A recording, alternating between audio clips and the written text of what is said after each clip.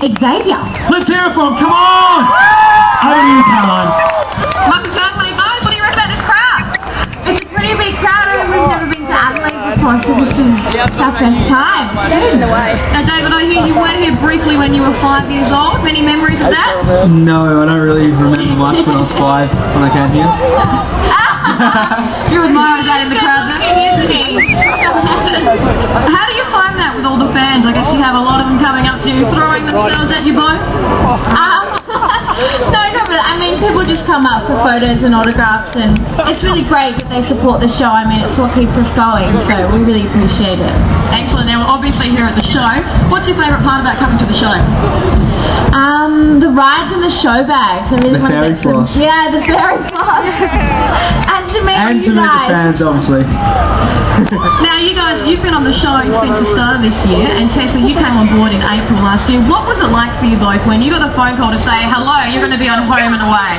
Oh, it was amazing. It was it was the best thing that's ever happened to me, and it's the best job in the world, really. And we all get along so well and have so much fun. It doesn't it doesn't even feel like work. So I'm very appreciative of my job. What was Yeah. it like for you, David? Well, you couldn't wipe the smile off my face when I found out. I was ecstatic, so happy, and um, yeah, it's such a wonderful show. I work with a great cast and crew, so yeah, it's awesome. Uh, you've been on Neighbours before. What was that like? Um, yeah, well, that was my first real television experience, and I was about 13, and I played a blind girl, and um, yeah, it, it was great. It really got me into it, and it, it um, confirmed to me how much I love being an actress, and that's what I want to do for the rest of my life. So it was, it was great. And how do the shows compare? I do like um, Home and Away a little bit better, just because it's hotter and it's the beach, and and my character's really really fun, and the people are great. Um, so yeah. And you guys both surf as well, so you're actually hardcore beach bums. Oh, I don't care. I, I can't surf. Um, I'm a I'm a bodyboarder, and I kind of surf sometimes. Yeah. And you, I guess, can? Um, oh no, I love the water. I swim. I'm not. I'm not one of those girls who won't get in the water.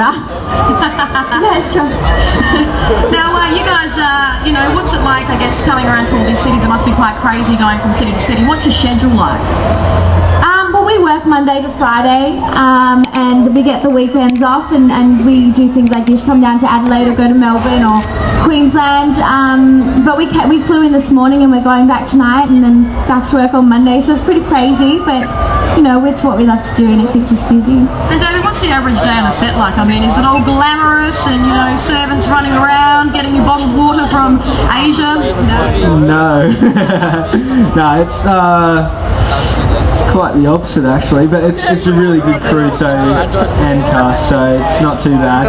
Yeah, it's not glamorous at all, really. Yeah, you should see our green room. It's like a little couch and then a lot of rubbish and like rotten fruit from like people chucking it around the green room and having yeah, we're a bit messy at home and away. Sounds like my lounge room. Yeah. Speaking of messy, uh, now you live with Lincoln Lewis, right? Yes, I do. All right, who's a big fan of Lincoln Lewis out there? What's he like to live with? Uh, he's great. No, he's really down to earth, and we get along really well. We just chill, relax, and sit there, have a little chat, and it's at work. The good thing is we don't have much of a storyline together, so we don't have to put up with each other 24/7. So. Now that's the sanitised version. I want to know what is it really like, you know? He walks around with his top off a lot, doesn't he? yes, and I keep my top on. Now, who does the most housework? It's pretty even. The house is pretty messy at the moment, though. I think You his don't want to go to their house. it. no, you do, you do.